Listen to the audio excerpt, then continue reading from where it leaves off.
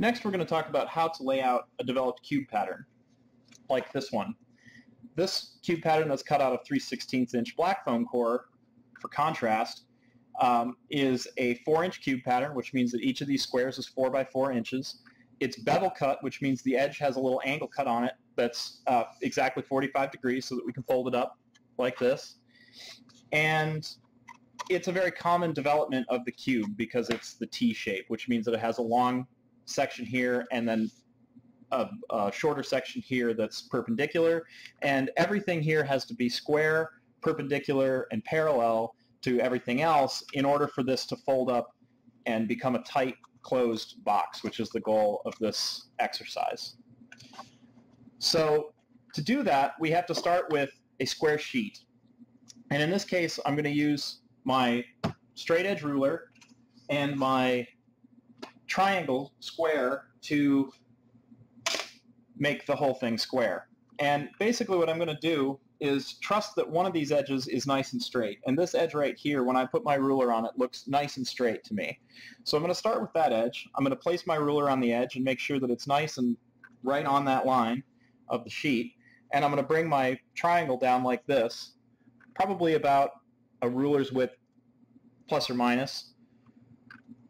And I'm going to hold it down nice and tight. And I'm going to take my ruler like this and put it over here next to this without moving my hand a whole bunch and I'm going to look at that and I'm going to notice that this is not quite square, meaning that the ruler is closer to this end of the sheet down here than it is to this end of the sheet down here. And that means that I need to cut it nice and square.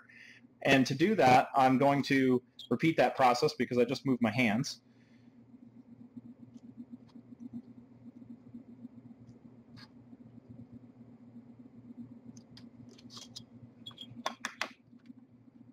I'm going to transfer my, my holding to my ruler now and get my square out of the way. And I'm going to draw this line so that I know that it's nice and accurate. Now that I have a line struck, I'm going to pull the sheet down here like this. I'm going to put my straight edge right on that line right where I want it. And I'm going to get my number 11 X-Acto blade, and I'm going to cut that nice and parallel or square.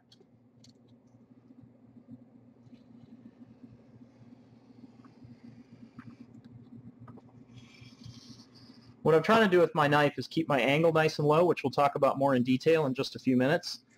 And I'm trying to cut through this in one shot so that I know that I don't have to come back and make multiple passes that can mess up the, uh, the surface of my foam core. And there I've got a nice clean cut. I have no popcorn or anything looking weird on the inside of my foam core.